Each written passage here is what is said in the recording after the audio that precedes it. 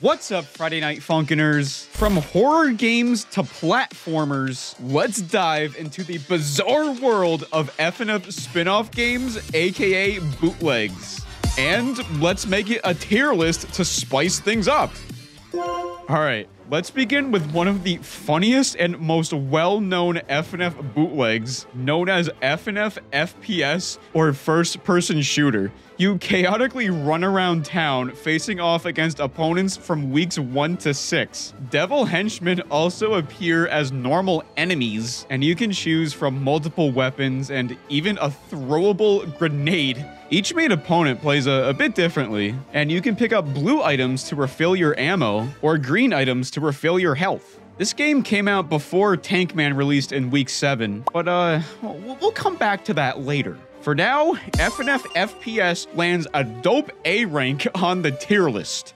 Next up, let's jump into FNF Run. It's a side-scrolling Flappy Bird-like game where you have to dodge flying notes. You can also hit them with mics though, but honestly, the hitboxes and everything is kind of jank. The best strategy I found is to just almost never jump and spam mics as efficient as you can. But uh, yeah, that's pretty much all to it. In a nutshell, it's pretty solid, so I'll stick it in the middle of C tier.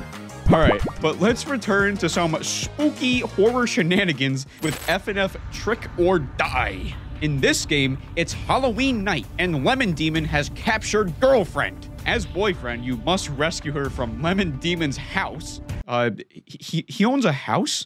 And you must find three objects to unlock a girlfriend from the basement. You can explore multiple areas, such as the outside, the house itself, upstairs, the basement, and most importantly, the bathroom, which actually holds a key in the toilet and is where I first died from Lemon Demon. He seemingly just teleported through the door. Like, eh, geez, man, at least knock. There are also multiple, like, safe points that you can hide under from Lemon Demon, and you'll find another key in the trash bin from outside, which then opens a locked door upstairs with a full freaking skeleton, dude. Yet we'll find another object hidden behind a bookcase in here, and we gotta put this battery thing in the basement while avoiding Lemon Daddy. But, uh, oh yeah, there- there's fall damage. That's right. If you jump just a little too high, you basically break your knees, and you'll just crawl forever like Sponge Glop on a Monday morning.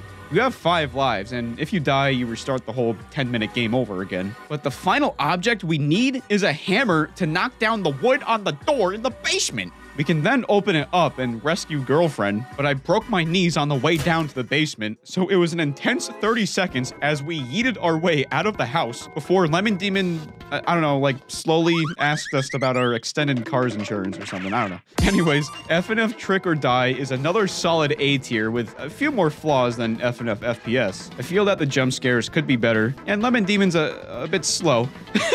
Speaking about flaws, or flawlessness rather, let's shoot into Friday Night Dunkin', a masterpiece of modern media where boyfriend plays basketball for 20 seconds and then it resets over and over again. The physics are complete jank, and literally the best strategy is just to stand there and let the ball hit itself in the loop. but this game has a leaderboard, and let me tell you, I tried for days trying to beat the world record of 112 points. But one night at 3 a.m., the stars aligned, and, and I got a perfect score of 112. Yippee! But since I had been playing for so long, the game didn't even register my score. But at least we can say I wasted over an hour of my life getting fake internet points. Let's freaking go, dude. Anyways, this game is a solid B tier. I hate it. All right, let's move back into the horror realm as we play what's known as Final Funk Chapters 1 and 2. Lemon Demon is the antagonist yet again, as he's been attacking people in their dreams. Literally. We begin in Boyfriend's wholesome house with one of the funniest starts to a horror game I think I've ever seen. We get a call from Pico, and uh, let, let me just play it out for you. Yo, man, what's up?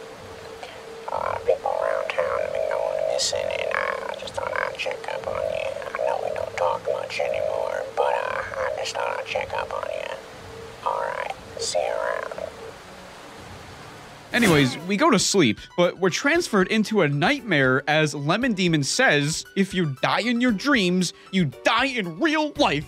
Also, BF's friends have been somehow transferred into his dreams. I don't know if they're actually real or not, but uh, Pico and Ron are certainly goners from the looks of it. We have to collect eight golden mics scattered throughout the map to win. In chapter 1, the main villain is actually Mighty.zip from the D-Sides FNF mod.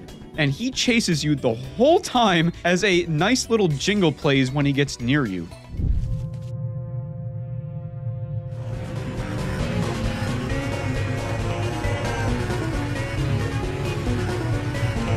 The map is a huge black forest, but honestly it takes only about 10 minutes, and Mighty.zip never really catches up to you.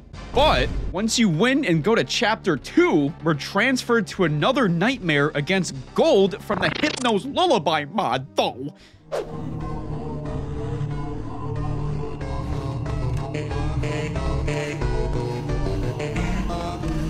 This is done much better, I think. We still have to collect eight golden mics, but every time you do, gold gets faster. This boy starts schmoving, and there are some real close calls when you try to get the last mic, let me tell you. The game itself hasn't been updated in over a year, but I think it has some great potential, so I'm giving it a solid A for atmosphere. Okay, let's jump back into another platformer, quite literally called FNF Platforming. As you play as Boyfriend through seven different levels, you can collect coins, shoot lasers, and defeat enemies with a boss at the end of each level. The game, as expected, has a lot of jank though, and unfortunately it kept crashing after World 3, uh, so I could not continue on. But the bosses are pretty cool and they encourage you to use the game's mechanics, yet for most of the game, you can just cheese it by going straight through the dirt and getting lost in your own sauce. The game has some pros and cons, so it's a solid C tier. Yet that leaves us with the final game, FNF FPS 2. In this bomb diggity, schmoovin' sauce, tremungus dungus of a sequel, you play as BF in first person this time, with the option of a third person view. It's simply one schmassive level, as BF must save Christmas from the FNF bosses that for some reason want to ruin Christmas. I don't know.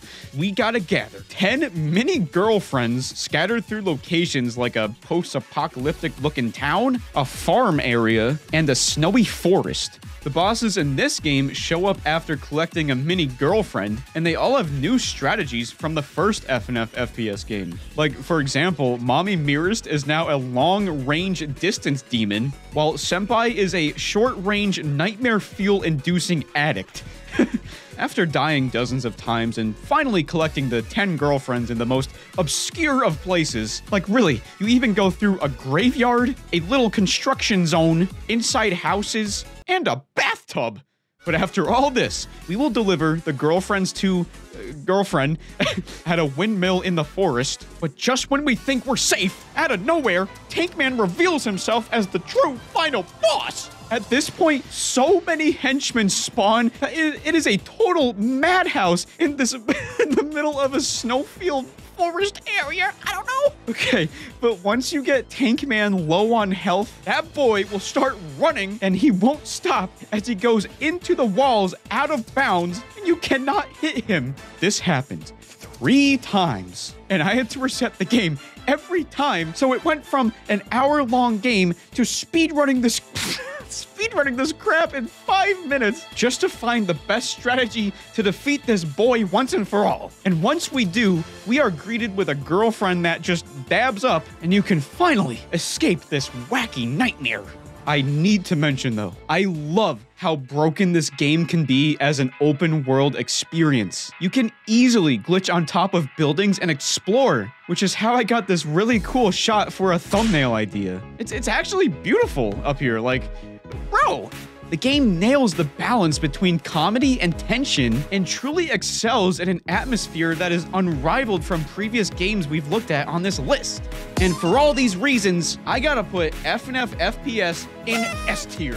Also, I can't bring myself to put any of these in D tier because I can tell that every developer genuinely put effort into their projects. That said, I still despise Friday Night Dunkin'. It's too good.